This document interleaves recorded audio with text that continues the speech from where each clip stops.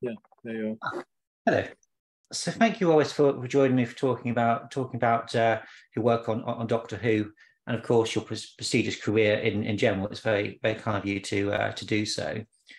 Uh, first of all, I just wanted to ask, um, what made you want to get into the film and TV industry to begin with? What were your what was that journey to, to, to get into work for the BBC? Well, you know, uh, I think it's a young person's dream always to be involved in the entertainment world, hmm. uh, especially when you watch movies, as I did as a young kid.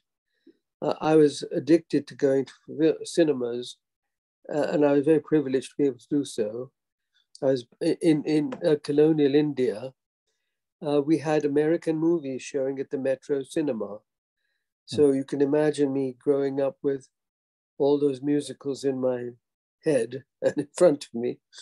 Uh, and so I, I, I, grew up watching musicals and, and, of course, wanting to be a part of it.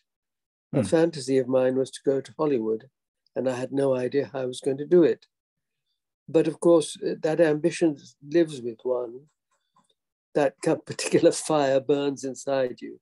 And um, when I was a young kid, I directed plays at school uh, based on things that I had read about, either plays that were notorious for what their content or something to do with controversy. For instance, I remember directing at my boarding school, I, there were house play competitions, and I did uh, a section of The Crucible by Arthur Miller. Now, the reason I did that was because I had witnessed a rehearsal at the Bristol Old Vic, where my school was. My school was edu- um, uh, was based in Bristol, so I was able to go go to the theatre a lot, and that encouraged me. You see, uh, the whole idea of directing was something a part of my life. Being, you know, what it does is it allows you to communicate with other people, and in my case, with people of my own age group mm. uh, putting them into clothes that didn't belong to them, pretending to be somebody they weren't, but dealing with something that was obviously, as in the case of the Salem witch, witch hunts in the Crucible, is very common. And uh, so I was an enthusiastic director all my life as a child. Mm. So um, that's my story about how I, I, I, I insisted on being interviewed for my future. You know, the uh, appointments board at university used to send you off to be interviewed, usually for law, uh, for purposes of professional purposes, whether you wanted to end up as a lawyer or not or whatever. Hmm. But in my case, I kept saying I want to go into television, yeah. and uh, they thought I was a bit preco- uh, precocious as a young man, I was in my 20s.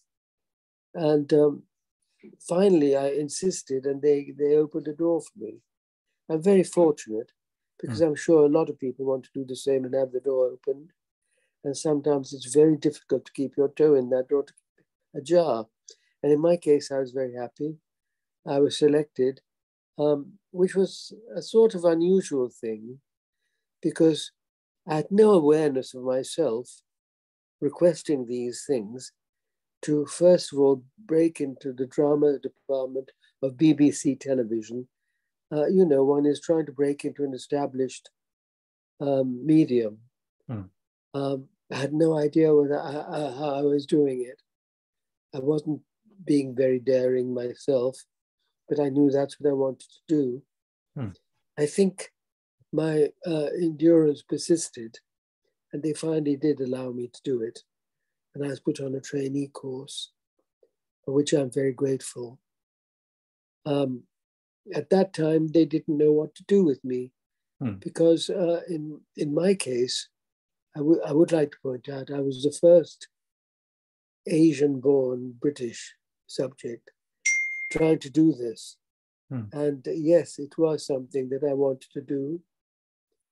Um, so that's what happened. I managed to get through the course.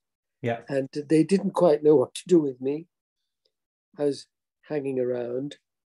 uh, I did a few things, and then ultimately, a new program came up which nobody knew anything about, created by Sydney Newman. Now, you know, uh, it's very interesting to, to know about. I mean, how did Doctor Who get born? Everyone forgets about Sydney Newman. They don't give him a hmm. credit at the end of the show. Uh, uh, if you look at some of the long running shows like Coronation Street or EastEnders, the people who created them still get credits. In, in the case of Doctor Who, Sydney Newman should be given a credit because hmm. here's a man who sat down and said, I want to do a, a, a series which will follow at 6.30 on a Saturday evening and be educational as well as adventurous. How do you combine education with entertainment? Hmm. Doctor Who is the answer. Hmm. Um, we went into the past for, and then into the future. We alternated. My very first episode started off with a quest for fire, which, to be hmm. honest with you, I never thought would work because there's nothing as funny as seeing people running around wearing skins. Mm. And at that time, there was a joke because in the cinemas there was a film called 10,000 Years BC with Raquel Welch, clad in skins, mm. barely concealing her body. But when people heard I was directing something like this with actors in skins, it sounded like a joke. Mm. well, the reality is, I did not want it to be a joke because I'd studied drama at university, I'd done serious stuff. I thought to myself, here am I having spent a lot of time studying Shakespeare, and what am I ending up with? Characters with uh, monosyllabic dialogue. Hmm. I, it could be a joke and people would laugh. I didn't want people to laugh at me. So we decided with the actors to play it straight. Hmm. And as it turns out, from what I gather, people who've seen the results feel that it worked and that it did get hold of them narrative wise. And it was about four protagonists fighting a system and surviving it. Hmm. The old man, Doctor Who, the whole point about Doctor Who is who is he? Where's he from? He comes from another space, another odyssey. He's made a hmm. journey. He's a mystery in that. We don't know his background. He has, in our story, he had a, a granddaughter. Who is this girl? What does she represent? She was meant to represent young people at the time, but she knew more than anybody else.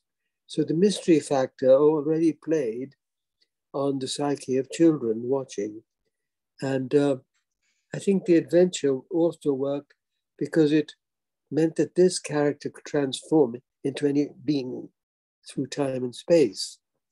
That was done through a practical fact that uh, William Hartnell, was ultimately too old to play the role, mm. and someone had to replace him.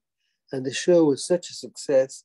Sydney Newman's brilliant idea was why not have him change into somebody else, mm. played by another actor? And as long as he's quirky and strange, which is what happened. And since then, we've had a series of quirky actors, young and old and age, and we've never explained them. I hmm. don't think you should ever explain this character because mm. he should be utterly unavailable. Yes. I mean, he's unappro- he's approachable in the physical sense that he can go through pain and through adventure, but he's untouchable on many levels, mm. on a scientific level. Yeah. So that makes him interesting to an, uh, an audience. Hmm. How mm. is he going to survive? And of course, the whole idea of him being a mentor is an interesting one. And you've got young people who are learning from him, and he hmm. usually has an assistant who learns through him. And so that's the story. The granddaughter turned into an assistant. Hmm. It's, it's a very good um, concept from the, from the get go, isn't it? As, as, as the first episode, the, the, the, mystery of who is this man, who is Susan, um, Ian and Barbara in, in the car, trying watching what Susan's doing, going into junkyard. uh, William Hartnell's entrance again. Who is this? That this person? It really sort of I think it's a very very strong opening ep- episode, just setting up the whole mystery of. And as you say, it's it's it's.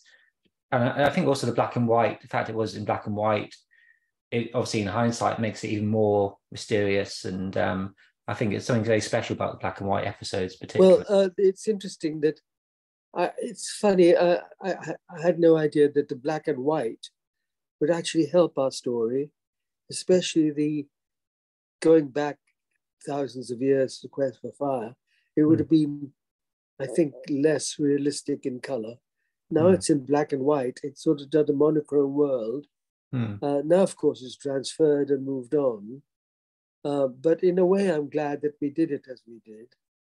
Uh, the mystery of it all. I had no idea what I was actually doing, in all fairness.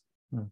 I actually thought I, you know, because the show, as you probably know, was doomed from the start because on the opening night, we thought that was the end of it. President Kennedy got killed on mm. the hmm. night that we were going to transmit. Mm. And uh, we saw it as a sort of sign oh my God, is this going to be okay? Luckily, the BBC believed enough in it or were persuaded mm. to repeat the story. Mm. And that's how the thing took off. But you can imagine what, what we were looking forward to the debut of this new series that it got stalled historically on a very important event. Mm. Um, in fact, the whole Doctor Who has survived through a series of very interesting incidents. And it's been taken up by some very talented uh, creators like Russell T Davies, who I think has did a marvelous job of re reviving it. Because as you probably know, it, it had a period of, uh, it sort of disappeared for a while. Yes. And it's been brought back to the conscience of the public, mm. for which I'm grateful.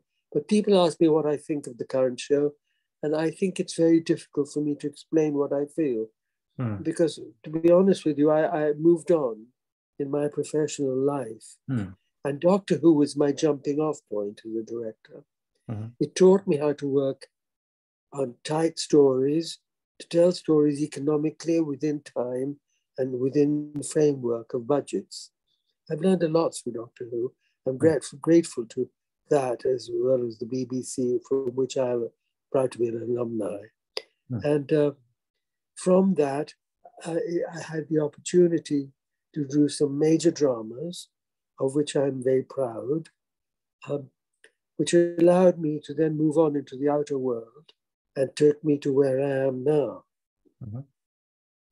And, I think, uh, do you think it, the fact you were such a young director when you did Doctor Who, it kind of gave you almost a you perhaps weren't as as fearful of this of this sort of epic sort of show that you, you were faced with because you were kind of sort of you know sort of um I suppose with the Phyllis of youth you were you know quite interested in trying to do very complicated shots tracking shots um, POVs etc I think did that think that gave you an advantage being being so new? Well that was uh, uh, uh, you mentioned the way I shoot. And the reason for that is I was very heavily influenced by watching films. And mm. I hmm. was totally aware that the whole thing about television is it can be very static and it shouldn't be. Mm. And um, the equipment in studios were forbidding directors from being able to manipulate their cameras mm. in a in a visual way. Hmm. Um, the thing about television is that it's not the same we shot on video, for instance. Mm. Today, single cameras take over. We worked with multiple cameras in those days. Uh, Doctor Who was shot on four cameras simultaneously. And you have to know how to work that.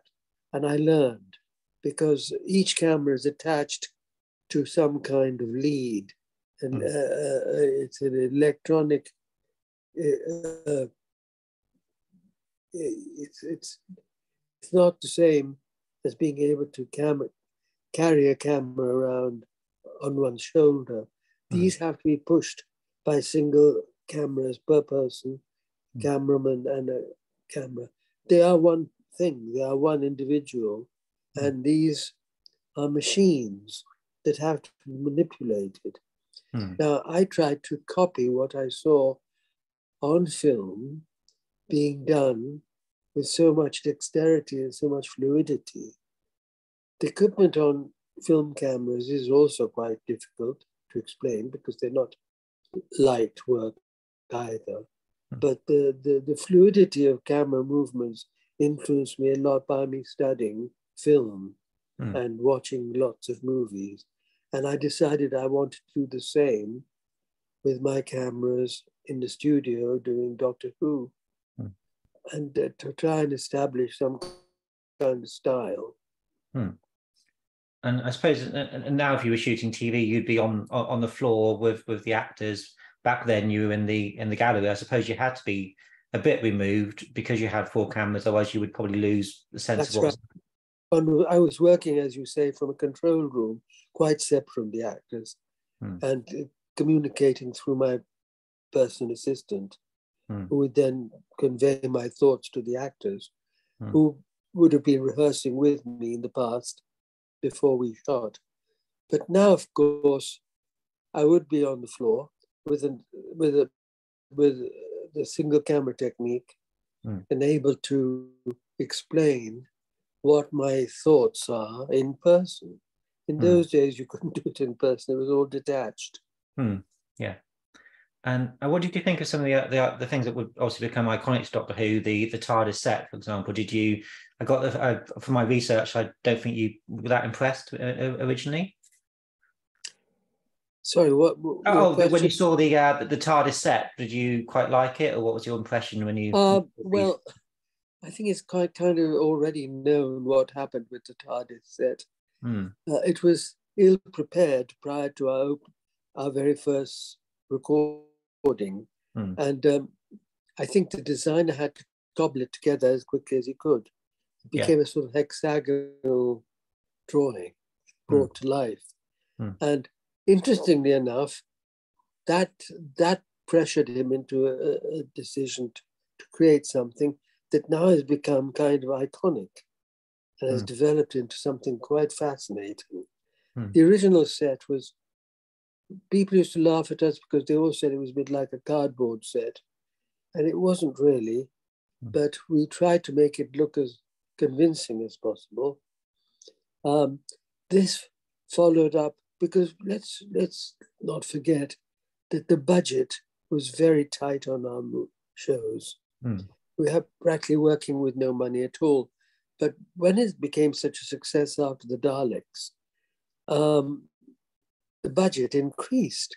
And I'm very proud to say that the Marco Polo episodes that I did, which took us back into historical past, is was to teach kids about what it meant to travel from Europe to Cathay, which was China. Hmm. Um, this was an educational part of the entertainment uh, historically. Um, by the time we did the Marco Polo episodes, the budget had increased. And all you have to do is look at some of the stills. Unfortunately, the show is missing. Hmm. No one can quite find it. I'm very proud of it, by the way. Hmm. It's got an epic quality to it. We did sandstorms in the studio, which is amazing because we didn't have any sand. But we used electronic equipment to uh, to to use on the screen, which in a funny way blurred according to the way we wanted it to. Hmm. And it's a trick that we managed to manufacture with our own skills.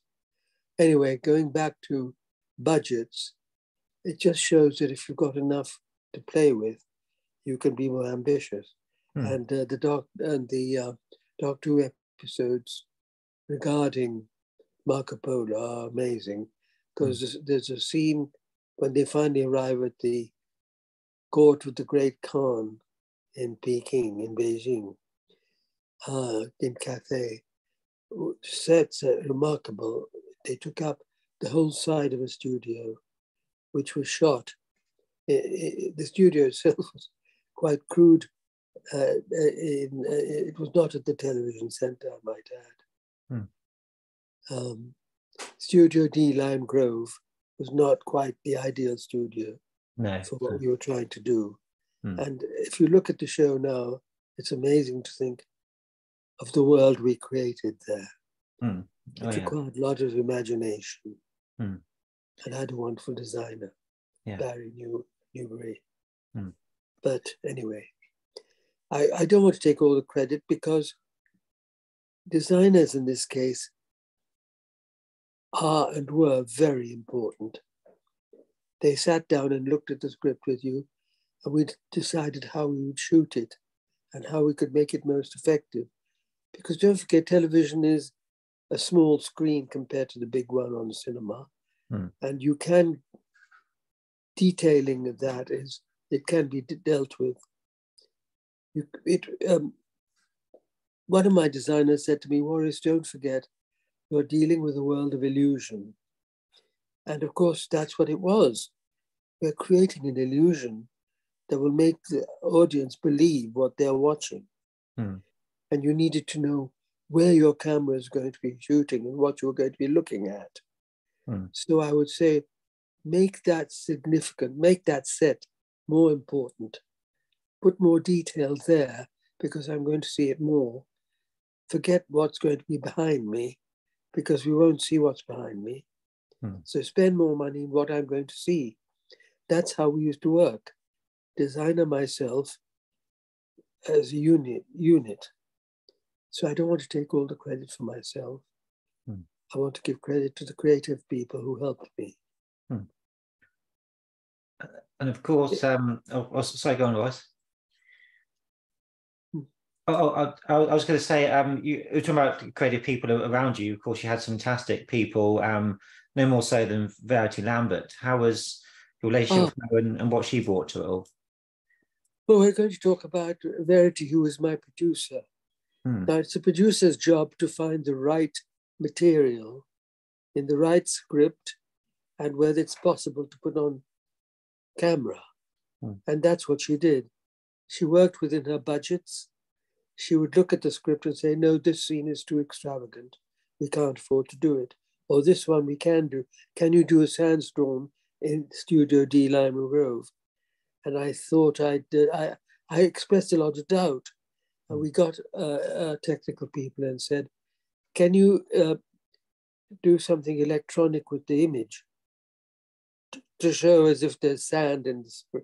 We use fans on the side to, so that people's clothes would be shown to be blown away by wind. Hmm. And then we interfered on the screen electronically and uh, uh, emulated, or sorry, simulated what could be a sandstorm. Hmm. And that was to do with Verity and me sitting down and working out whether it's possible to do it. And once we worked it out, we put it into the script. This was during the Marco Polo uh, expedition across the Gobi Desert Hmm. in the script. Um, producers are very important because they have to be, they have to trust the director they've chosen. Hmm. And um, we would have a lot of discussion. And I think today people tend to forget what that's all about. Discussion is very important. Uh, well, what is possible and what isn't? Let's talk about how much money is available and let's talk about budgets. I'm used to working with budgets, and that's something I'm proud of. I don't think I've ever overspent. Hmm. Um, that was what I was probably known for the economy with which I shot and got through my shows on time. Hmm. On time is very important because time is money, Yeah. and we have to work with that economy Hmm. in thought, in our thoughts. Hmm. Verity was a very practical person. She'd had a lot of experience as a PA. She knew what it meant to sit in a control room with a director and watch the monitors and the images that were on the, in front of you. She hmm. would also watch what I was shooting, and sometimes she'd see an image that I hadn't seen myself, and say, "You haven't seen what's on camera. Or you're concentrating on camera one, Waris, but look at camera four. There's an image there. I think you should use it." And we'd sit and work out how I could incorporate a, a, a manner of shooting my shows. So in Mm. many ways, she was constructive. I would say that. Um, I would add that we were both very unusual. She was the first female producer in drama at the BBC in television drama.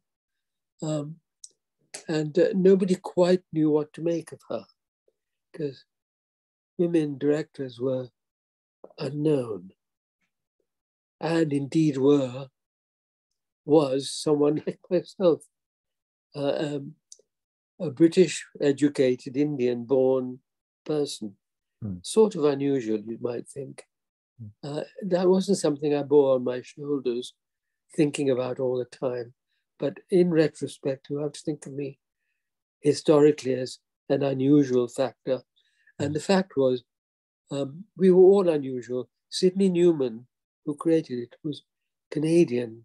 Hmm. Verity was a woman, and I was an Indian born Brit.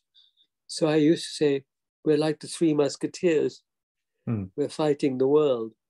We're doing it on our own terms. But it's about having that support, wasn't it? Sort of having three people that were kind of sort of unusual for the BBC at that time. You had each other's backs, and it made it easy. Yes. Hmm. We were, yes, I don't know. I, I think we got to, I think you got to describe yourself.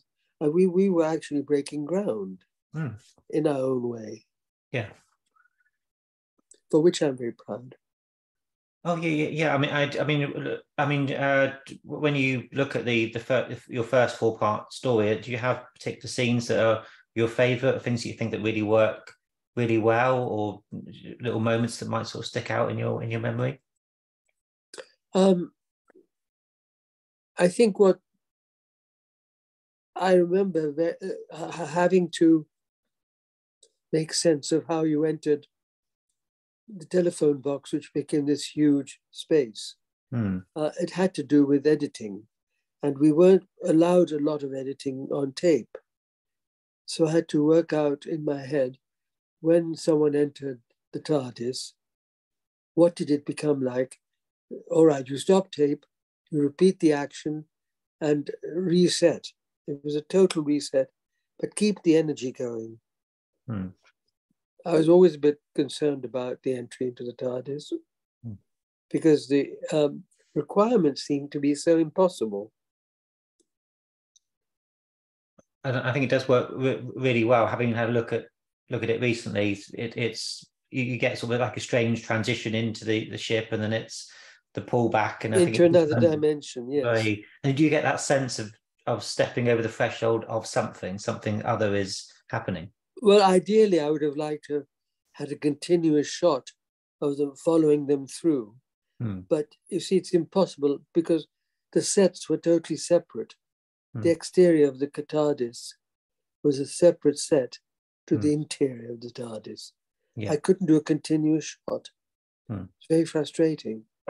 Today they would use steady cams and things, Yeah. but I don't know what they do. But we don't have the budget to go from A to B. Hmm. Got to, you've got to go use them as separate entities. Yeah. I mean, do you find that all actors qu- quite like working as live, although recorded, but it was done as as well, live? th- most actors are used to this kind of thing because of continuity problems. Hmm. Uh, but it's up to the director to explain to them the energy factor with which they entered. They have got to remember what happened Hmm. when they entered the ship Yeah. from outside, and now they get inside Hmm. to express the kind of amazement that they experience. Hmm. They have to act all that through. Yeah. I was just thinking about some of the actors that played the the, the, the, cave the cavemen, and um, the, the the main the main leader Jeremy Young plays Kal. Of course, uh, an actor went on to do a lot of uh, great work. Do you remember Jeremy Young at all?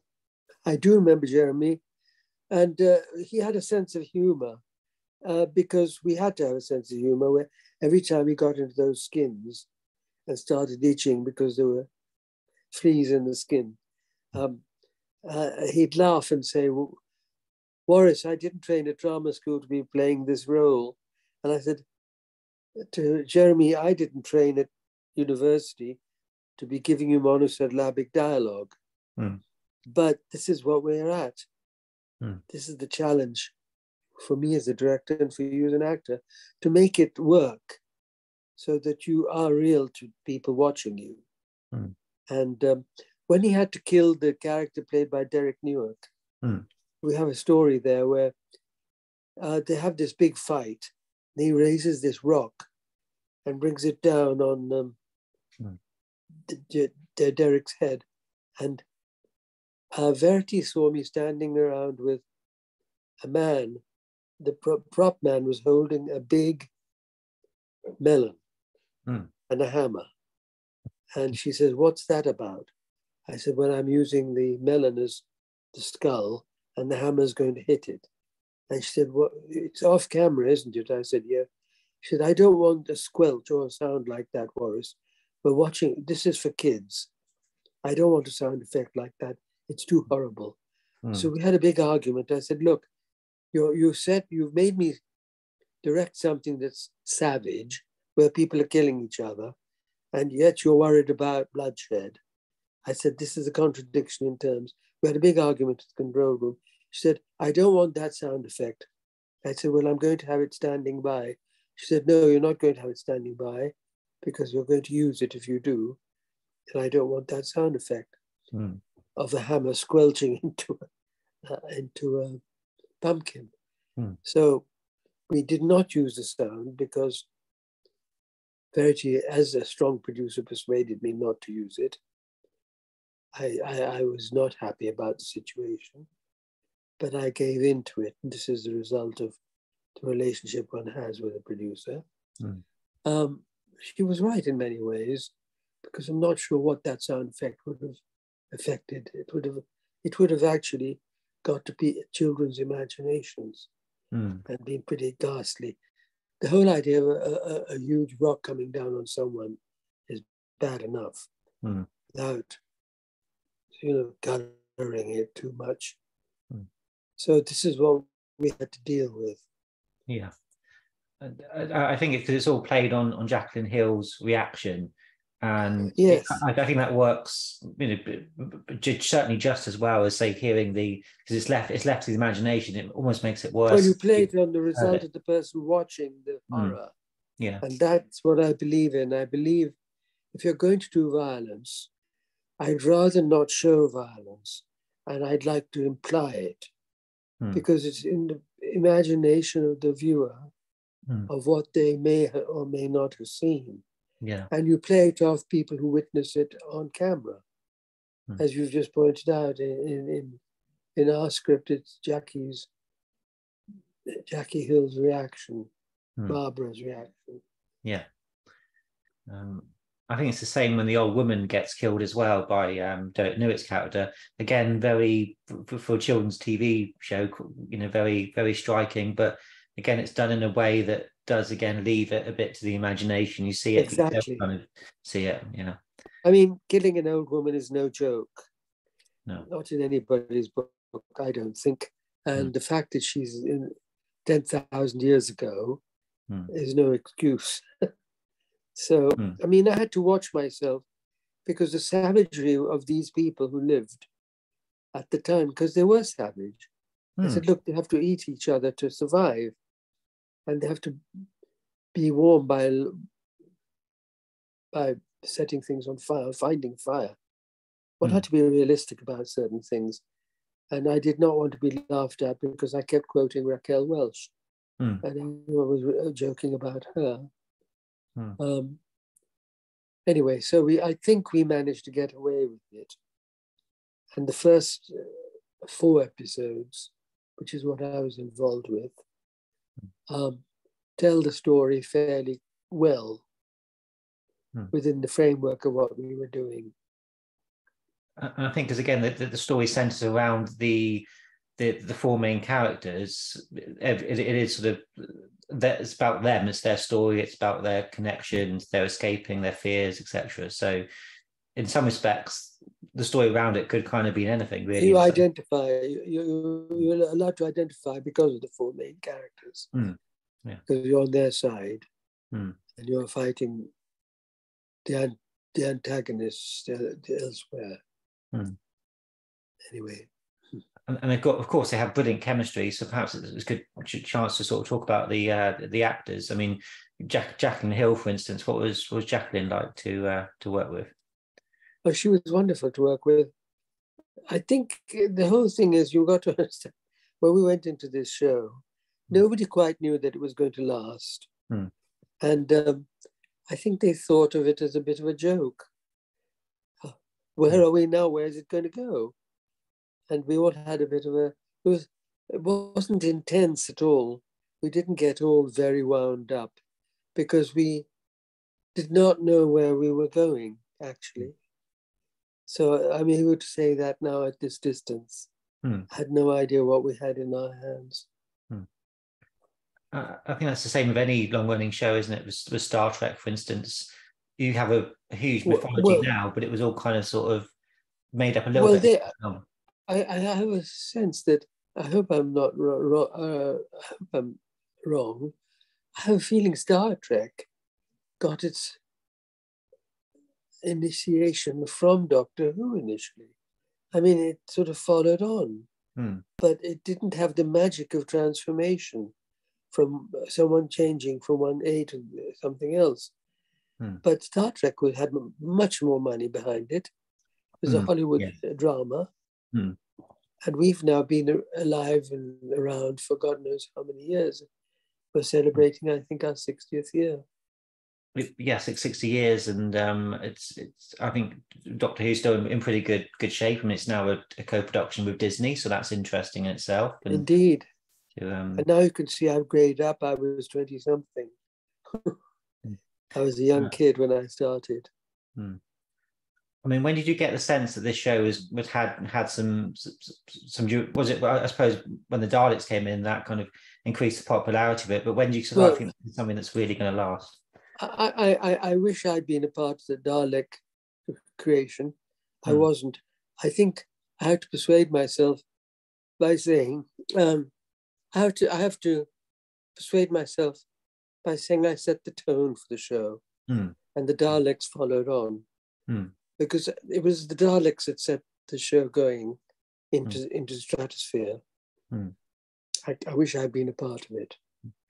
And, and you've always been very interested. Well, of course, being um, studying Shakespeare at university and uh, etc. You've always been interested in sort of um, uh, sort of historical pieces.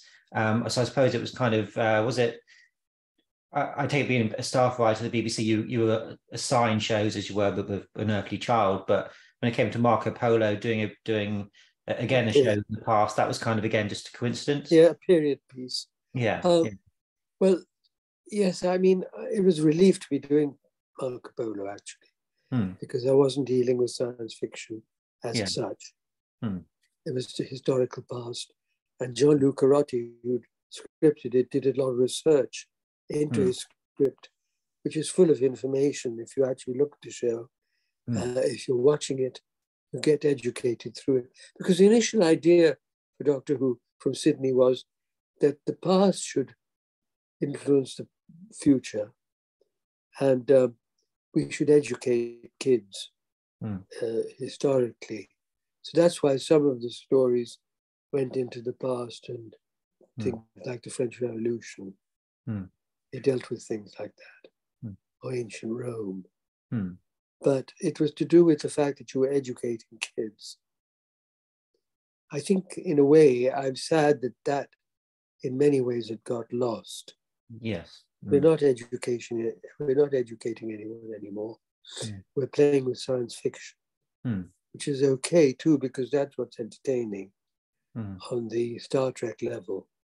Um, but if it could only go back to some kind of past and deal with what people had to live through and our protagonists have to experience, Mm. that might educate that might educate kids. Yeah, I, I entirely agree. I mean, I mean, of course, Doctor Who does go in, into into in the past still fairly often, but there's always a science fiction element. There's always a monster or just trying to change time. Yes, or- I, thought that was Mm. Unfortunately, that to me was an unnecessary Yeah. distraction Mm. because monsters work as a form of entertainment. Yeah. There's no solution to them. Mm. They ultimately have to dissolve and disappear. Yeah. Yeah. and that's the only solution to them. Hmm. Um, I'm not sure what the future is going to bring, but it'll be fascinating. Um, it certainly would be nice to return to say a couple of pure historicals, just interacting with with figures like Marco Polo and and then sort of going off again. I, that's one thing that, as a fan of the old Doctor as well as the new, as I do miss those. It's, almost when the monster turns up in Pompeii, for example. It's like, oh well, you know, Yeah, it, yeah. it kind of takes a bit of. You, they're Yes. learning a bit because they do give you certain information about. So so kids, I think, can still learn from it, but not in the same way as they could say by watching uh, Marco Polo, of course. Um, I just Yeah. uh, well on Marco Polo. Um, do you remember um, Mark Mark Eden who played Marco Polo? I do remember Mark. Uh, uh, I'd, I'd worked with Mark initially in a play I'd done before Hmm. called The Shadow of Mart, in which he played the lead, and he was very good. And so when we were casting Marco Polo, I said, we need a hero in the conventional sense, a square jawed character, you know, which is what he was. Um, Mark was a, very good looking guy. And he, he, he sort of looked to me like the sort of actor that Hollywood would cast. Hmm. And you need someone like that in the lead.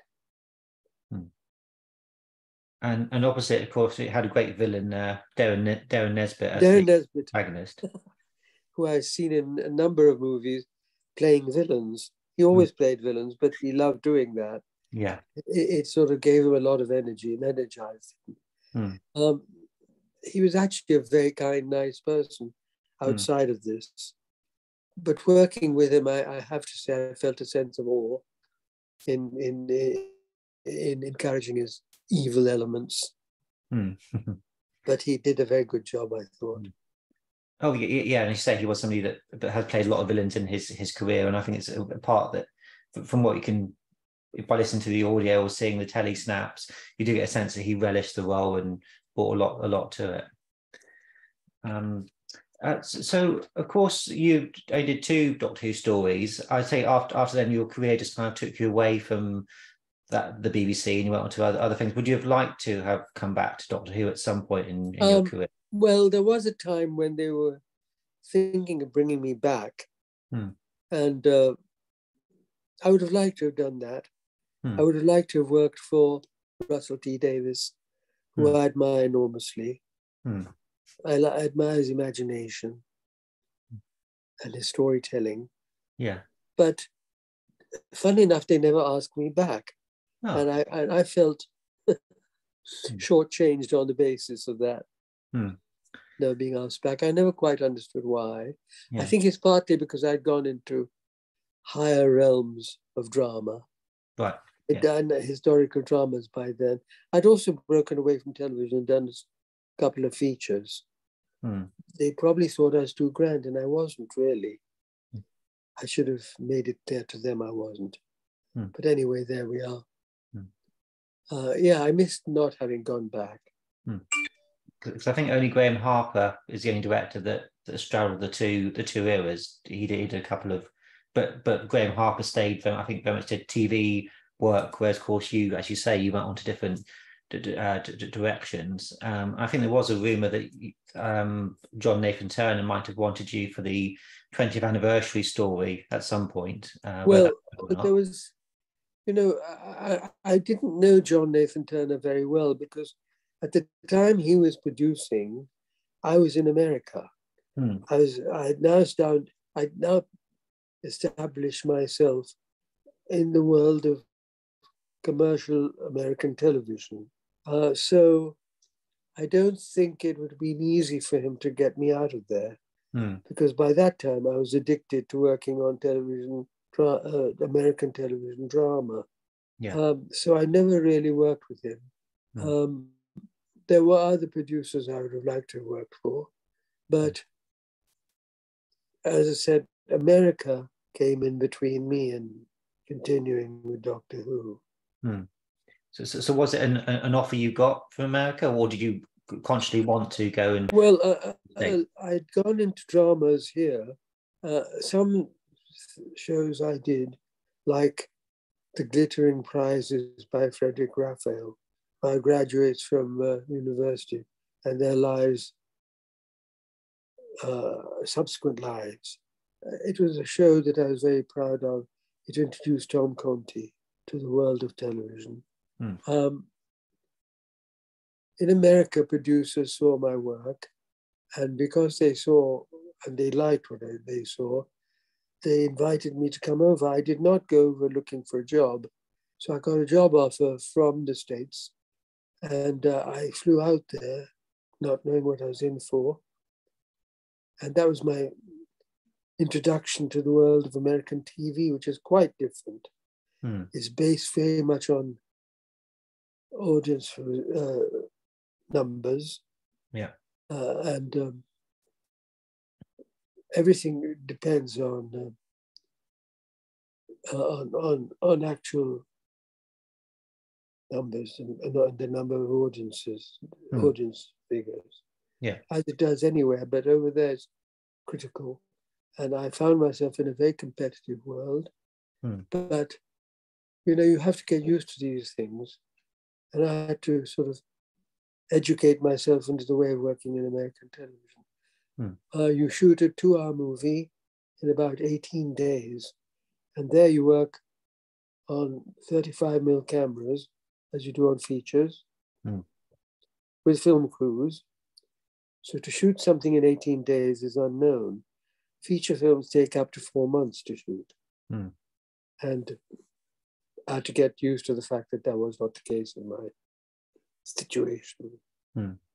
But, but again, working very quickly with the BBC would have been a really good, Yes, you know, point to, to work to work quickly and economically. yes. I, I came back here to do a drama set in England for American television. It was based on a bestseller by Rosamunde Pilcher called uh, The Shell Seekers. Hmm. So they, they took classic books and dramatized them. And this was a four-parter, two hours for two nights, with Angela Lansbury. Hmm. And we shot it just as a feature film. A lovely cast, Sam Wanamaker, Angela Lansbury, and um, Patricia Hodge, to name but a few. Hmm. And uh, it allowed me the scope of working with well-established figures in the film world. Hmm. Um, but before then, I mustn't forget that I had already done some quite significant television in Britain. I'd graduated from things like the Glit- Glittering Prizes. I did a drama based on the abdication, Edward and Mrs. Simpson, Hmm. which is quite relevant to today, I would think. Oh, And so, man marries an American divorcee and gives up his royal position. hmm. But um, um, it meant a lot of research and getting things right. And that was for Verity Lambert at Thames TV. I'd left BBC by then and become a freelance. Hmm. So th- that was my experience in the world of commercial BB, uh, ITV, Hmm. which is also based on audience numbers, unlike the BBC. Hmm. Which is also it would like I know the BBC would like to have audience numbers, but it doesn't exist on that level, on that commercial level. Hmm. So um, you know, Edward, and Edward and Mrs. Simpson, uh, through Verity, allowed me to open up, and I and I won an, uh, an Emmy for it, of which I'm very proud, Hmm. and a BAFTA. Hmm. Anyway, um, I was able to expand. Let's put it this way. Hmm. I I mean, I think Edward, Miss. Simpson was a wonderful series, and it was something that I watched. Um, I think when I was at, at a secondary school, and I did um, uh, a, a, a quite a significant bit of coursework about Ed, um, Edward because I was the fascination grew f- from from your your series. So so I've always uh, enjoyed that as a as a as a serial. Well, now, of course, well, I'm happy you did that. I'm happy you enjoyed it. Hmm. Uh, I'm very proud of it because, in many ways, we were way ahead of the Crown. The Crown is telling the same story, mm. but with much more money involved, mm. very elaborate. Mm. Ours was done on budgets, again, watching what we did and how we did it. Mm. And I had a wonderful cast. I had Edward Fox as um, Edward VIII. He mm. was wonderful. Yeah. And Cynthia Harris as Wallis. I think she was almost like a double, a doppelganger of the real person, mm. which was an achievement in itself. Mm. Um, so uh, that took me into other areas of my television experience. I mean, Ed, Edward Fox has been somebody I've because I'm a big theatre fan, and I've seen him on stage, uh, uh, you know, on a few occasions, and he always, of course, fantastic performer, a very unique way of delivering uh, uh, dialogue, and and a lovely person as well. He always comes out and meets meets people after, afterwards at the stage door. So, uh, so I take it he was quite a good actor too. To, to, to, wonderful to actor, a wonderful person to work with. Hmm. Uh, I'll never forget. He did the abdication speech which had to literally copy the speech made by Edward VIII, declaring the fact he was giving up the throne for the woman he loved. And Edward learned every inch of that speech, the nuance that he gave it. He actually listened to the recording and repeated it and played it. Hmm. He didn't have anything to read with. I remember taking it, uh, we did it all in one take. Mm. Brilliant.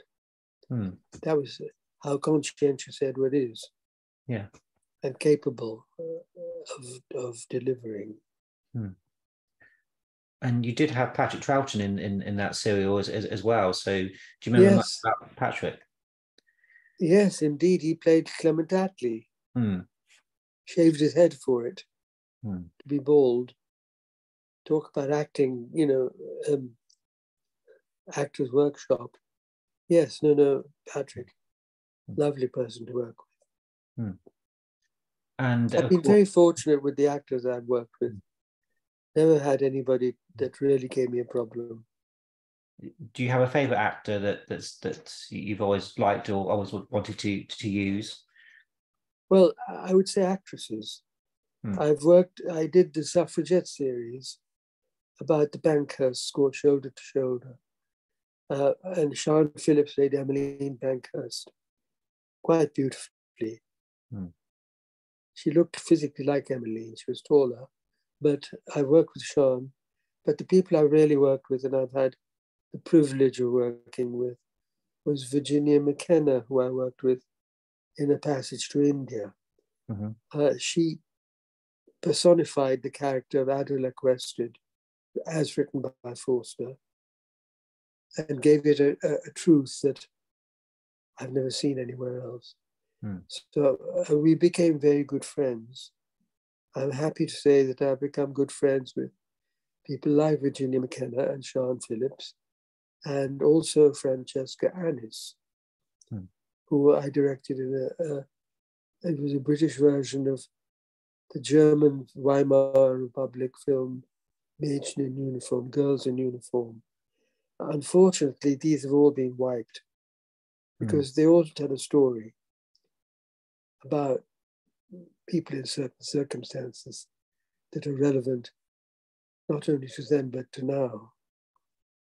So, but mm. I'm proud of some of the work I did. Mm. And uh, if you notice, my list of um, favorites is all ladies. I, I, I think I work better with with women than I do with men. I'm mm. not hmm. saying I'm not giving reasons for that, but hmm.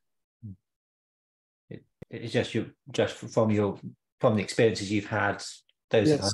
relationships that have been. women are much more uh, uh, adaptable and uh, and they they absorb more. Mm. There's no resistance involved in the fact they're being told what mm. to do. I think mm. men don't like being told what to do. Mm. Yes, yes. Um, and I suppose it also it also depend a little bit on how established an actor or an actress is in terms of how fluid they are. You know how much you can mold them. Hmm. Yes. Um, I, I, believe you were quite instrumental in Caroline, Caroline, uh, Carole Ann Ford being cast as, as Susan. Is, is that correct? Uh, yes. Um, th- th- that's a story I tell often.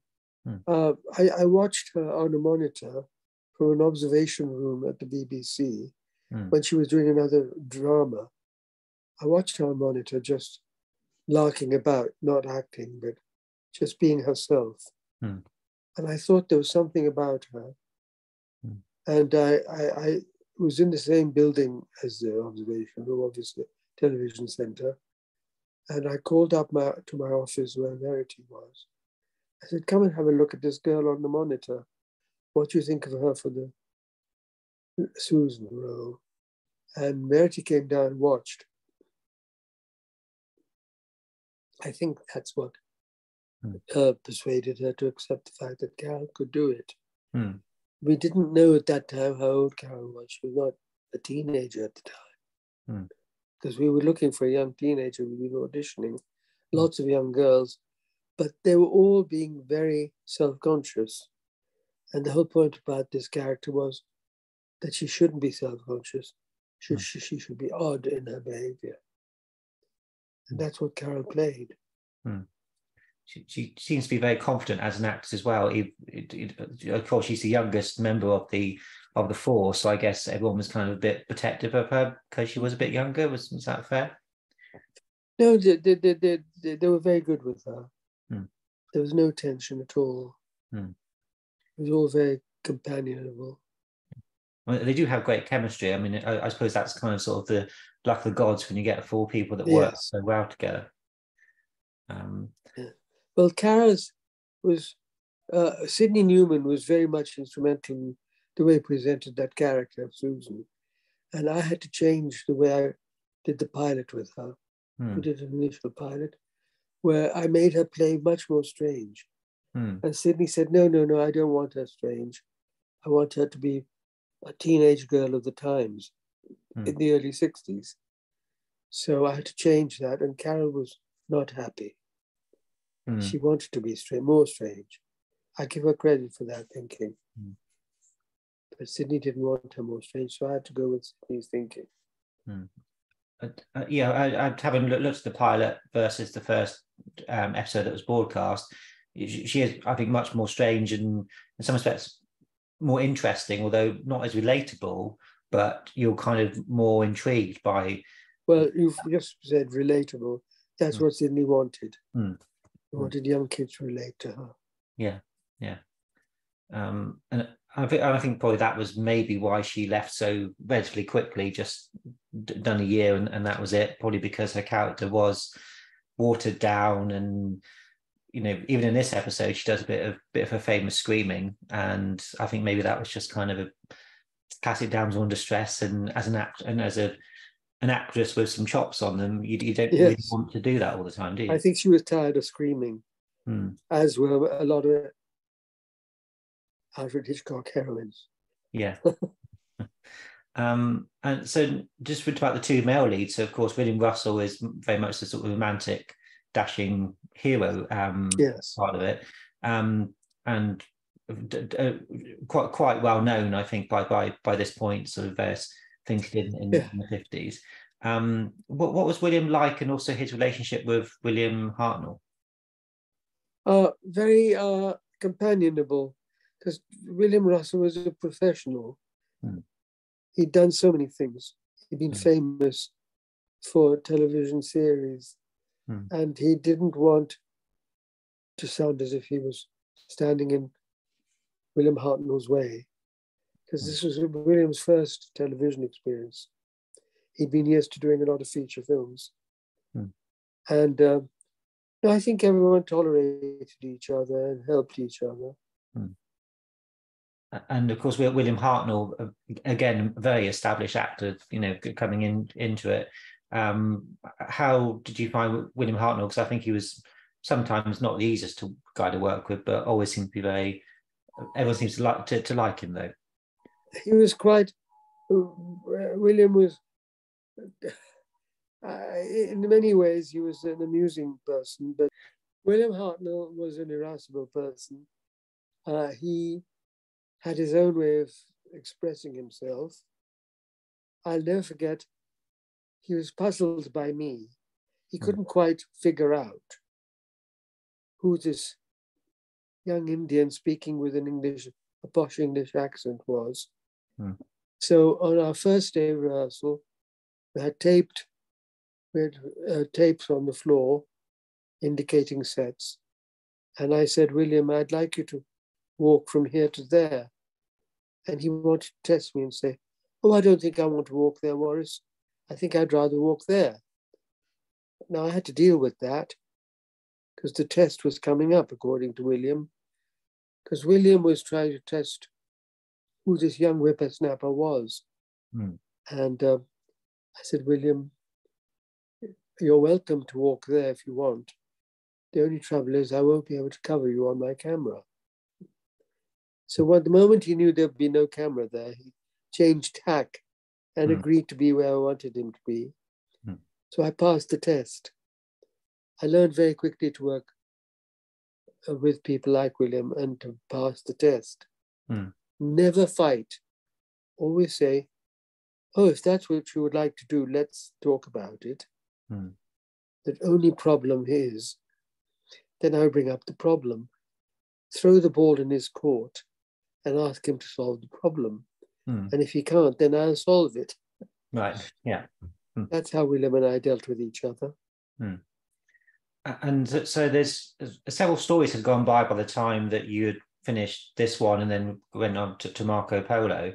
Did you see think that the cast had, had, had gelled even more when, when you came back? Was it maybe that was why it was a better a better experience? Well, they had, yes, they had gelled. And we had a new member of the cast, Zienia Merton, Hmm. who was playing the young Chinese girl, Ping Cho. Hmm. And Zienia was wonderful because she was a mixed race. She was half Malay and half English. But she was very conscious of who, joining a team. And Carole Ann and she got on very well. Hmm. They're very generous with her. So the show itself was a pleasure to work on. And um, did you think that anything was kind of you kind of mentioned that Susan character was a bit watered down from the pilot to the to the broadcast version? The Doctor was also, I think, more sort of with a bad tempered. I think so. I think that.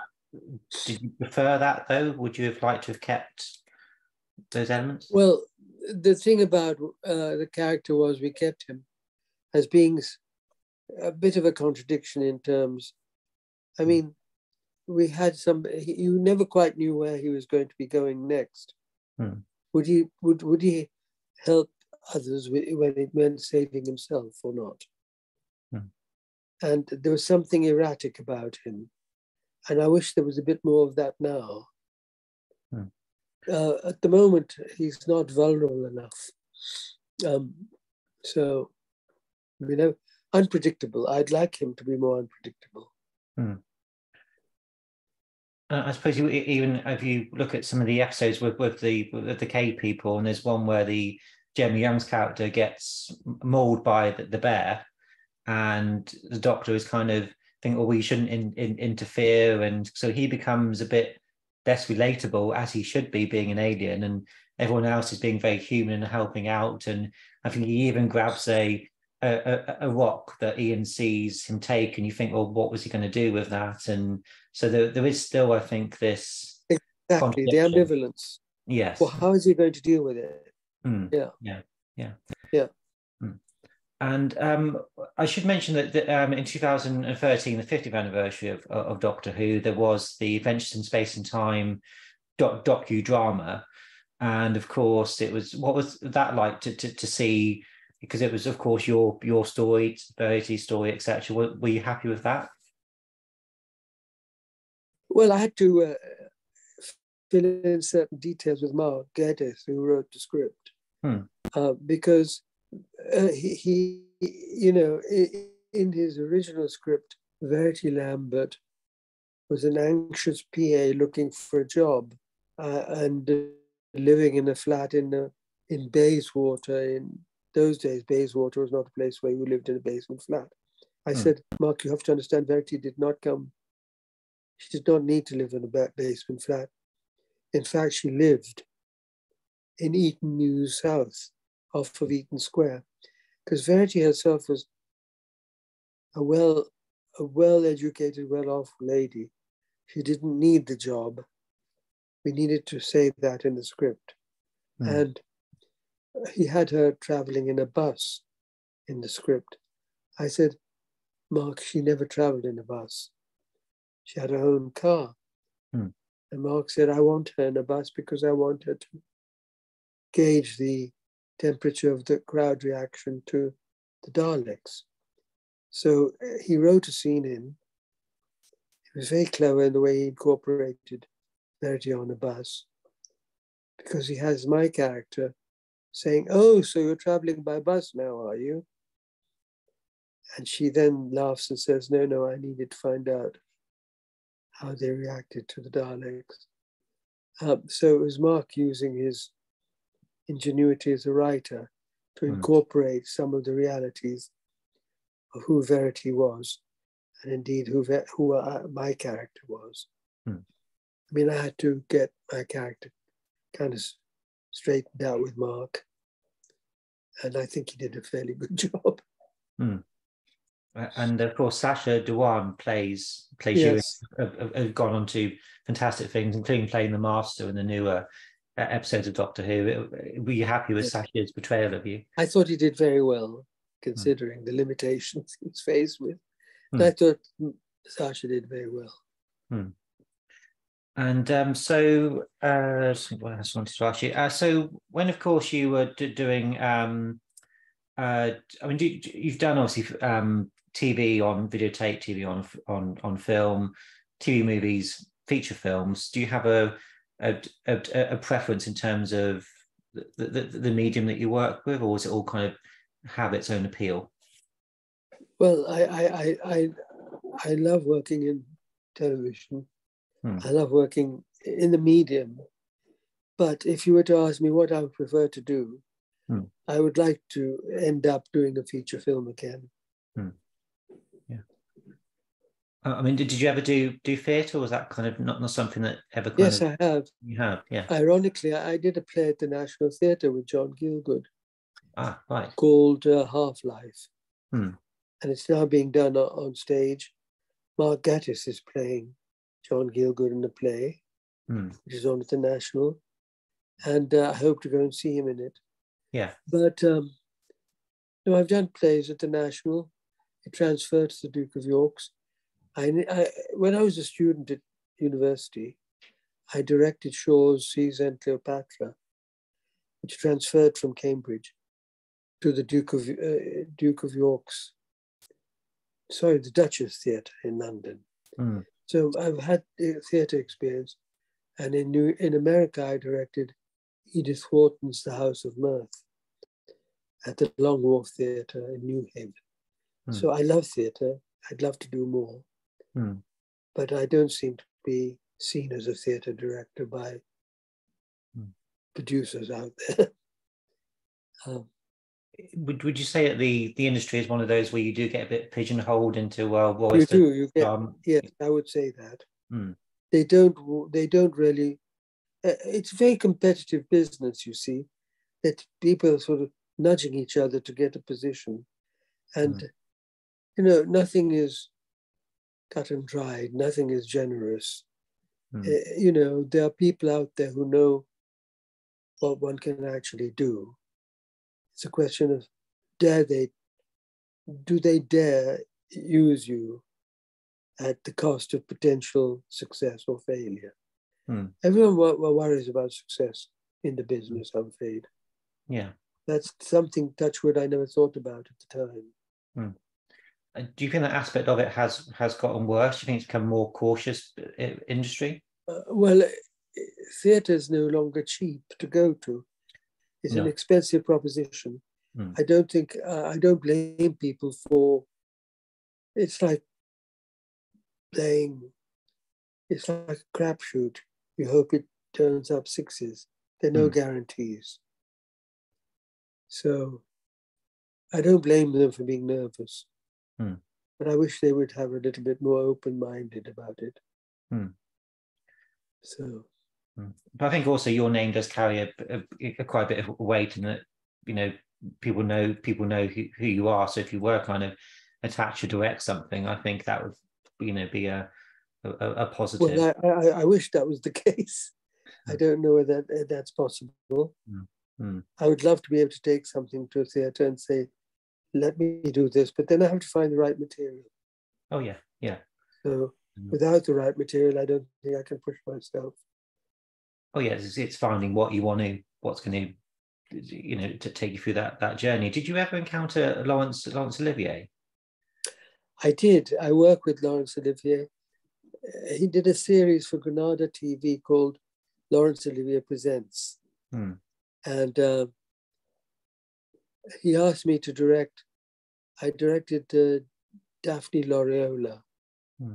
with Joan Plowright playing opposite him, based on a very successful West End play starring Edith Evans in those days in the 50s. Hmm. And La- Laurence Olivier appeared in it. He produced it then. He acted in my TV show. Hmm. And it was a huge privilege working with him Hmm. on a play that he'd originally produced in the West End. Yeah. And Joan played the Edith Evans role. I got to work with both of them very well. Hmm. And um, I suppose I should include Joan in my repertoire of ladies because I've, I've got to know her quite well. Hmm. And it was a privilege. Hmm. I did end up uh, doing a film with her and Jeanne Moreau and um, a play called um, The Clothes in the Wardrobe. Uh, it ended up in America called The Summer House with Lena Headey in the lead. Um,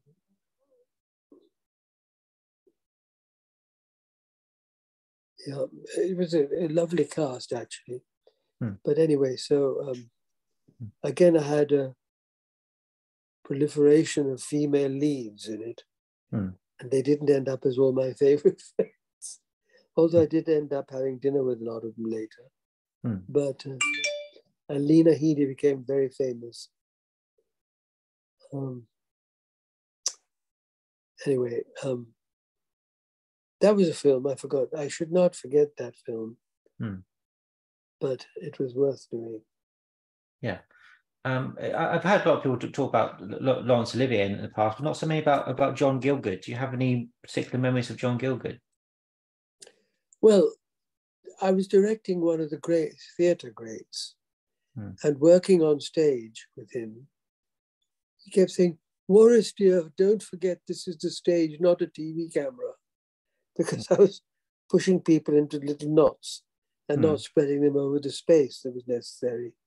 And Hmm. he would tell me to open it up more, which is his way of helping me direct. Yeah. But otherwise, as an actor, he listened to what I was saying. Hmm. I was very fond of him. The one thing you do sometimes see when you watch um, BBC serials uh, is sometimes you, they have actors that are quite used to being on the stage and they don't always necessarily adjust their performance to TV. It's, it's sometimes a bit. Have you ever encountered that Right, issue? I, I agree with you absolutely. They need to uh, bring it down and tighten it up Hmm. and become quieter. Uh, I forgot to tell you, I, I worked with John Gielgud as the Inquisitor in my production of Shaw's St. Joan, Hmm. which I did with Janet Suzman, who I should also incorporate into my ladies group. Oh, lovely. Yeah. Janet, Jan, Janet played St. Joan wonderfully, and uh, John Gielgud played the Inquisitor. Hmm. So I got to know both of them very well. Um, d- a- a- again, having a look at your your CV is it is very difficult to know what not to ask about because, of course, there's so much. Um, just to finish off, there's just a couple of projects I thought might be worth sort of asking you about. Um, a, a Touch of Love, 1969, that was um, Sandy Davis and Ian McKellen. Andy Dennis Yeah, oh, Sandy Davis. Yes, yes. and uh, Ian McKellen. Hmm, That was Ian McKellen's first ever film. hmm, Little did we know who would end up where he is now. yeah, Um, when I when I was directing it, I asked Ian to play the lead opposite uh, Sandy Dennis, who, by the way, her presence helped finance the picture because she'd been nominated for an Oscar and, uh, uh with her performance in Who's Afraid of Virginia Woolf. Hmm. Uh, because she was uh, nominated, we were in a position to be able to finance the picture on her name. And hmm. that's how we got the film made. And she had to play an uh, uh, upper middle class British girl. Here was an all American actress playing an upper middle class British girl, mm. hardly likable or possible. Mm. And she did it beautifully. Mm. Um, it was based on a novel by Margaret Drabble, novel called The Millstone. Mm. In our film, the film was called The Touch of Love. And it's about a woman who decides to bring up a child as a single parent. In the 60s, you didn't do that. Mm. You, you just couldn't be a single parent mother. It was all frowned upon. And she decided to play that role because of that role, mm. fighting the system. And it's critical of the NHS as well, where girls are treated very strangely. Mm. Um, Ian played the unknowing father, um, and he's quite wonderful in it. Hmm. Uh, did I'd you? known Ian, I'd known Ian at Cambridge. Oh right, so, so you have that good relationship with. And, uh, yes, I, would I'd worked with Ian in the past. I directed him as, in Twelfth Night, in which he played Toby, Toby Belch. Ah. He's absolutely wonderful. Hmm. Uh, yeah, I've seen him on, on stage a few times as well. Um, uh, King Lear a couple of years ago, and yeah, yeah something very mesmerising and, and, special about um, Ian McKellen. Um, uh, uh again, going back to period pieces, uh, Henry VIII and his six wives. You've got Donald Pleasence, Michael Gough, all sorts of people in that one. Yes, I had wonderful uh, time directing historical drama because, of course, obsessed by, as a lot of people are, by the Tudors. Hmm. Uh, I remember at school doing, making little plastine, plasticine figurines of Tudor people. Um, what happened was that the TV series was such a hit, they wanted to make a feature of it. Hmm. And they asked me to do it, and I said, no, I didn't want to do a copy of the TV series. And I would only do it if in one hour you have to tell the story of a man with six wives. Hmm. Uh, how are you going to do it? So I, I worked with a writer called Ian Thorne, who done one of the original dramas for the BBC. And he and I sat down and I said, Ian, how do we justify a, a, a two-hour movie about Henry VIII when it's been done so many times? Hmm. And Keith Michell had been a brilliant Henry he was the only person still appointed to the role. I said, we've got to do a film that makes sense, otherwise, don't make it at all. Mm. You know, the cliche is a big fat man eating chicken legs, throwing them over his shoulder. This is not Henry VIII. Mm. Let's let's look into him. And Ian came up with the brilliant idea that Henry VIII was who he was because he himself was he, full of self doubt. Um, a man who felt betrayed by God. Hmm. Um, why else did his first wife have so many male children? Catherine of Aragon mm-hmm. gave birth to stillborn babies. They never had a male child in Maynard. He felt himself cursed. Hmm. He felt that the world was against him and the world surrounding him. So what he did, uh, what Ian did was to do a movie about a man who didn't trust anyone, let, let, let, least of all himself. And therefore, the big excuse was to find betrayal in everybody. Mm. Um, people like Thomas More, who he trusted enormously. He felt betrayed by Thomas More, who did not agree about the whole idea of the divorce. He felt betrayed by, if he didn't feel someone had betrayed him, he'd create betrayal, as he did with Anne Boleyn. Mm. Um, Catherine Howard, who was the youngest wife, did betray him with someone else. She slept with someone else. But he felt that he was being betrayed throughout. So the curse of what, uh, you know, when a man feels like that, in reality, historically, mm. you don't have to be Henry VIII. You have to be someone who's full of doubt and dangerous as a result. Mm. And we, we created that character because of that. And we worked on the film because of that. Mm. Uh, I mean, do you remember uh, working with, with Donald Pleasence um, on, on that one? Yes. Mm. I, I, worked with Donald Pleasence a number of times. Ple- a wonderful person to work with. Mm. Um, um, I did a film with him called um, uh, uh Arch of Triumph with Anthony Hopkins, mm. in which Donald played a Nazi, ex-Nazi who was responsible for torturing the character that Anthony Hopkins played. And it, it was made earlier on as a film with Charles Norton in the role. Mm uh, it ends up with the main character murdering the Nazi uh, as a form of revenge. Mm. And Donald had that wonderful way of playing devious characters. Yes. Mm. You never quite knew when he was going to turn around and hit you. But um, anyway, he played uh, Thomas Cromwell mm. and he played the Nazi. Hmm. So uh, I've had the pleasure of working with some very good people. Oh, absolutely. I mean, just mentioned Anthony Hopkins there. I mean, of course, oh. you know, just you know, uh, uh, just amazing person. Hmm. Yeah. Uh, Anthony has the quality of inner brooding, hmm. a lot of um, personal angst, which yeah. is expressed in his performances. Hmm. And uh, uh, um, uh, well, one person in, in that cast that, of course, Doctor Who fans would be familiar with is is Michael Gough. Do you remember Michael? I worked with Michael Gough a number of times.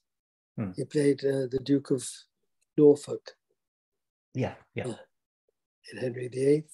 Hmm. And then I worked with him in the Shell Seekers, again playing an, a, a very well known art dealer opposite Angela Lansbury. Hmm a pleasure again to work with, as always.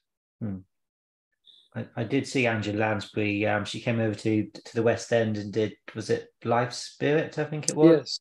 And I think she was ninety at the time, and she was running around the stage like you know. I mean, I couldn't do it as being a person in in, in, in his thirties. You know, so amazing um, energy she she had, and you know, um, again, a very likable person as, as well. loss now. Mm. Yes. Mm. Um, there was one actor that, that you might not remember, uh, a guy called Peter Madden. He played Fisher in um, Henry VIII and the Six Wives. Don't you remember Peter no, Madden? No, um, that's okay. Um, of course, you had Brian Blessed in that as Suffolk. Whether he had any sort of, when you have any lasting impressions of, of Brian Blessed at all? Who's this? Oh, uh, Brian Blessed. Oh, Brian Blessed. Hmm. But Brian is himself. I mean, he's a wonderful character. Hmm. Is it larger? Always played Bluff, uh, the Duke of Suffolk, hmm. and um, I also directed him in a series about George Sand with Rosemary Harris. Hmm. Oh my goodness, another lady I should have mentioned, Rosemary yeah. Harris. Hmm. Um, he played um, a French poet, a bluff loud man, hmm. Which is what Brian is. Oh yeah, yeah, yeah. He's yeah, he's lovely. lovely. Um, yes, lo- lovely, lovely. Um, a guy. Um, again, I've seen him do do a one man show, just him talking about his career, and yeah, he always comes across um, rather wonderfully.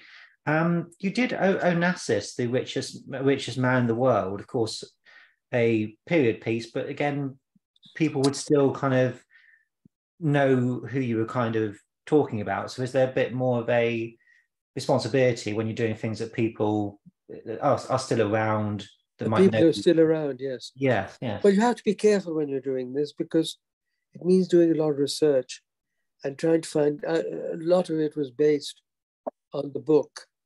And of Mm. course, I studied the book very carefully. Mm. Um, and I, Raul Julia was cast by the network. Mm. They wanted a name from Broadway. Raul was a wonderful actor, but he was physically totally wrong for Onassis. I had another actor in mind, Mm. but the network would not accept him, even though subsequently the actor I had in mind became very famous. Anyway, Raul played it. And I had my, uh, you know, when you're working for American television, it's very hard. You can never tell them who you really want Mm. because they're dictated to by the, te- the television audience appreciation. Mm. And Ra- Raul played beautifully, but he was physically six foot one, Mm. and Onassis was a short man. Yeah. And uh, when men are short and rich and famous, sorry, they, they make up for a lot Mm. their shortcomings. Yeah, yes, yes. I imagine. Uh, Raul could hardly play that. Mm. Yeah. I couldn't work on him saying, Raul, you've got a few problems here. You're Mm. not you're not short enough. But um, Mm. he played it beautifully. The the dilemma of being a, a man whose father never appreciated him and being Greek Mm. and having to make his way in the world Mm. and being greedy Mm. and uh, ambitious. but All the things that were necessary. Yeah, and I think you had. Um, uh, Jane Seymour played. Hmm. Uh, she played uh, uh, Maria Callas, Hmm. and I'm happy to say she won the Emmy as the best supporting actress in her role. Hmm. Anyway, um, she was cast before I had a choice of casting. I had a number of actresses who nearly killed me for not thinking of them for Maria Callas. Hmm. But I couldn't explain that the network had said to me, you have to have Jane Seymour, who at that time was famous for Dr. Quinn, Medicine Woman. Yeah. Um, because her TVQ rating was very high. Hmm. So I ended up with her, and I had to beg, beg Francesca Annis to play um, Jackie Onassis, Jackie Kennedy. Hmm. Um, she didn't want to do it, Hmm. but every American actress I offered it to Hmm. turned it down because the character was not a very nice person in the script. no. She was portrayed as a go getting woman working under the guise of vulnerability after the death of her husband. Hmm. And uh, we found out in the original script, in the book, that Onassis, having married her, wrote a divorce, wrote uh, on a piece of paper saying he wanted to divorce her within six months of a marriage Hmm. because she was so extravagant. He spent too much money on it, on Hmm. his count. And we had her being very, very greedy in the film, shopping and buying and doing things, Hmm. which Americans don't want to play. She's an icon in America. Hmm. So most American actresses turned her down. Right. I had to persuade Francesca, who was a friend, to play Jackie. Just la- last comment on on Onassis. I did see Robert Lindsay play Onassis on in, on stage, and again, I thought that was a very compelling, very compelling person. Um, the only last film I, I thought worth mentioning was uh, was Copacabana interesting by Mal- Manilow. Was that um, Copacabana with Barry's movie. Hmm. He want uh, he'd never acted before. yeah and they were looking for a director Hmm. who could direct an actor, uh, actors. Hmm. Dick Clark was the producer. Dick was a very famous entrepreneur Hmm. for American Bandstand.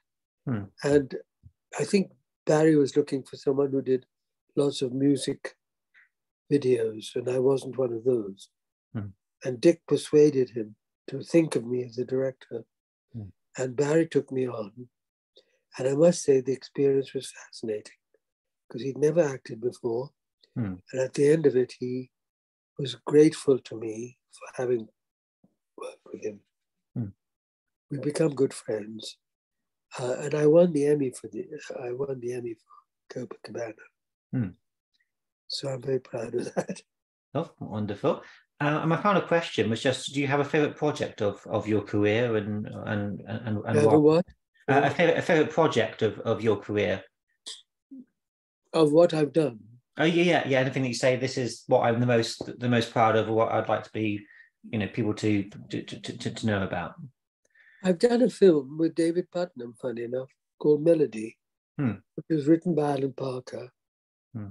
And unfortunately, the title Melody implies a musical. It's not. It's the name Oh. of a girl. Yeah. It was with Mark Lester and Jack Wild, Hmm. two boys from Oliver. And I'm very proud of it because it's the first time I've worked with children, kids of a certain age, and Hmm. music by the Bee Gees. And I'm very proud of it as a film. Hmm. But yes, I would say that's probably one that I'm proud of. Hmm. Uh, Passage to India, which I directed on television. Yeah. Something I'm proud of because I had the experience of working with Sybil Thorndike. And, and yeah, and, well, thank you, Waris, for, for talking to me um, about your career, and I, I enjoyed all the little little areas we, we've touched on. Of course, Doctor Who being in in in particular. Um, I mean, I mean, lastly, do you think that if Doctor Who didn't exist, but somebody wanted to make it now, do you think it would? Do you, do you think there was something about Sydney Newman, 1963, that made it become this series that it is? It was something special about the time in which it was made? No, I just think I, am not sure what the success of what what and how Doctor Who became so successful. It is now uh, one of the most famous shows from the BBC, Hmm. and I'm very proud to be a part of it. But I can't honestly say that I knew that it would be a success, Hmm. and I don't know what it was. It's a part of the magic of the, unpredict- the unpredictability of show business. I mean, I, mean, you, you, I think you, you go to quite a few conventions, you meet the fans, and are, are you surprised how much they they, they love you, you, your Well, I go to conventions, and of course, I, I'm only a name. They don't. Re- I don't know. They don't know what I look like. Hmm. If you're a name on the screen for five minutes, they recognize you, but they don't. I, I'm thanked by a number of fans, Hmm. having created Doctor. Yeah. But um, I go to conventions because I enjoy them, Hmm. and um, yes, it's it's interesting because not many directors are known for shows they created. No. And the irony is that if I'd known it would be such a success, Hmm. I'd have had a contract that Yeah, kept me going. I'd, I'd been quite Yeah. talking you from great heights right now. Yeah. I mean, think of the people who created uh, Star Trek. They're multimillionaires. Mm, yes. Yeah. um, uh, uh, so, what's the, the future hold? Do you have any, any projects in development? Is you still excited about about? I, I'm working on a couple of scripts, but I don't want to talk about them because until they come to fruition, I don't like to say anything. yeah. Yeah. But I do. I like to work with writers Hmm. on new projects. Have you done much work in in India? And do you? No, and I want to work. It's a good thing you've asked me. Yeah. I, would like to work in India, but I'm hardly ever. I must say, I'm not known in India at all Hmm. uh, by the Indian film professional. Yeah. Um, I watch Indian movies with fascination because they go way over the top and they don't mind doing so. Hmm. But they're there for a purpose. They're there to entertain. And they know what kind of audience they're catering for. Hmm. They don't change formula, but I would like to do a story about Indians Hmm. set in India or indeed about Indians here in this country. We don't know enough about them. Hmm. It's only recently that people have started to greet each other with uh, festival things like Diwali or Eid Mubarak. Hmm. People didn't know what that meant before. Hmm. But I'd like to deal with the British Asian family in Britain these days. Hmm. Uh, all you're seeing now is policemen or DCI, so and so, played by an Indian actor. I Hmm. noticed that in EastEnders they have an Indian cast, East Indian cast, very strong storylines. But I would like to do a story set in India, set in Britain, Mm. With British Asians, because I, I feel detached from my own background Mm. in my professional and my social life. Mm. I don't know enough about people from my past. Yeah. Although I do have a past, Yeah. I would like to talk about some other time. it was what it was, it was so it would go in full circle, as you say, if you if you could do something like, like that, yeah.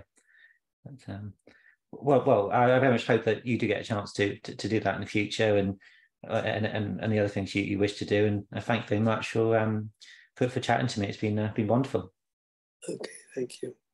One last thing, I don't know if you know, but there is um, a rumor that they might be colorizing some of the black and white episodes for the 60th anniversary. I don't know whether that means your episodes or other people. But that's an interesting uh, element. But um, yeah, it'd be interesting to see what happens with the 60th anniversary. Really, Who's doing that? I don't know.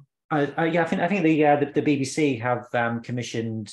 Um, and there's also the animations, isn't there, where they've animated some stories and maybe they'll animate Marco Polo uh, in, in the future, or maybe it'll turn up, hopefully. But uh, but um, no, it's an interesting year ahead, I think, for uh, for fans of the show. But, um, Well, I, I doubt if they'll be coloring the first lot. Hmm. I, if they do, I'll be fascinated. I Hmm. wish they would do the Marco Polo, which has, by the way, disappeared. Yeah. I know it exists, but no one seems to know where. yeah, Uh, but it hasn't been wiped, like Hmm. some of my dramas. yeah.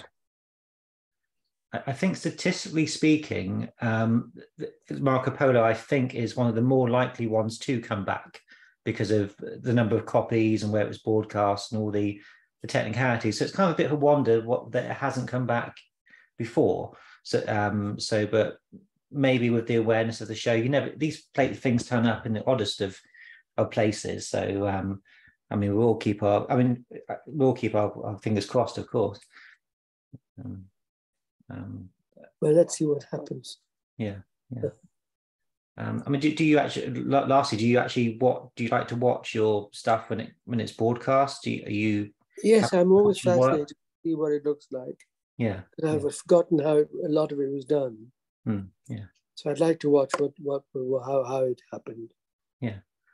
Well, let's uh, let's see what the future brings. That'd be that'd be nice. But uh, well, um, but I'll, I'll let you go, Waris. It's been been a it's been a delight, and um, enjoy the rest of your weekend. Okay, thank you. Take care. Bye.